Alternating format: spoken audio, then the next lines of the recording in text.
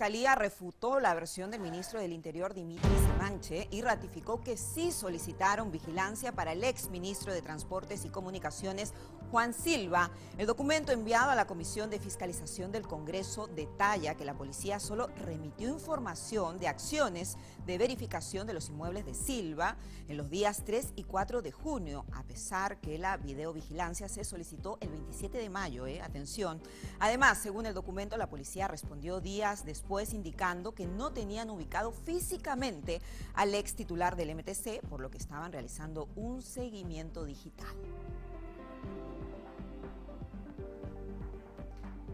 Y vea lo que ha pasado en